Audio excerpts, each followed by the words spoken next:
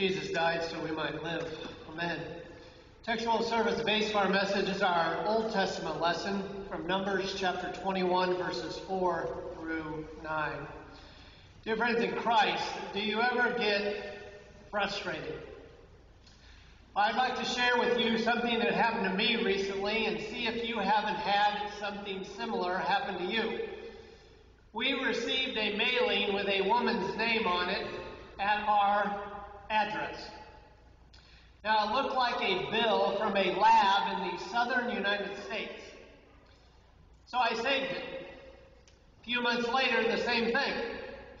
It had an address that if undeliverable, so I sent it there. A month or so goes by, we get the same mailing. This time I take it and I send a letter to the company basically saying we have lived here for 25 years and nobody with that name lives here. Doesn't work. Here comes another one, same name. So I call. They commend me for not opening the mail. And they said they would send me something to clear it up. Nothing ever came except another lab bill. This time, I shredded it. Have you ever had the same experience? You try to do the right thing, and it is just heartache and frustration. You know, we're going to see some frustrated people today. But the difference is they are not doing the right thing. And the Lord is going to send them a bill, all right, and it won't be pleasant. Let's see what happens when God's people try going the other way. One thing we all remember about 9 11 is that the first responders went the other way when people were fleeing the Twin Towers. They risked and gave their lives for others. They purposely were going the other way that fateful day into the danger. The people of Israel complained again against the Lord when he seemed to be sending them the other way. It says in our text from Mount Hor, they set out by the way to the Red Sea to go around the land of Edom. And the people became impatient on the way. And the people spoke against God and against Moses. Why have you brought us up out of Egypt here to die in the wilderness? For there is no food and no water. And we loathe this worthless food. What they didn't realize, of course, was that what God was doing was part of his grand design. Do you ever get frustrated and miss the Lord's grand design? Why are things going this way, you might say? This cannot be happening. Where's the promised land? You've got me wandering in the desert.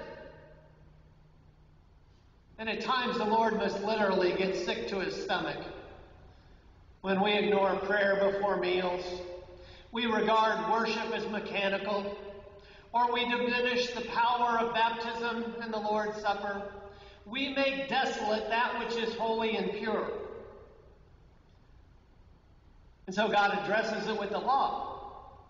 Then the Lord sent fiery serpents among the people, and they bit the people, so that many in Israel died. Now, he sent these fiery serpents for three reasons. One, he showed them his just anger for their rejection of his grace and protection these last 40 years. Second, he wanted to show again that their rebellion was the direct cause of their problems. Their previous rebellion had them wandering in the desert and not proceeding into the promised land. And the third reason, of course, is to show them their sin and lead them to repentance. Now, that's a wonderful lesson we can learn from our forefathers. We too become frustrated with God's timing. Instead of direction through God's word and prayer, we take off for the desert. And we end up wandering aimlessly. And when we go the other way, away and apart from God, this is what happens. Now, all this death finally brought the Israelites to their senses. And the people came to Moses and said, We have sinned, for we have spoken against the Lord and against you.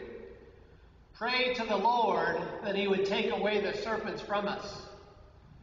So Moses prayed for the people, and the Lord said to Moses, Make a fiery serpent and set it on a pole, and everyone who is bitten, when he sees it, shall live. So Moses made a bronze serpent and set it on a pole, and if a serpent bit anyone, he would look at the bronze serpent and live.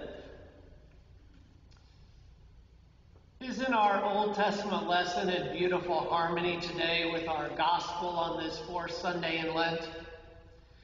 Jesus says in our gospel, as Moses lifted up the serpent in the wilderness, so the Son of Man must be lifted up, that whoever believes in him may have eternal life.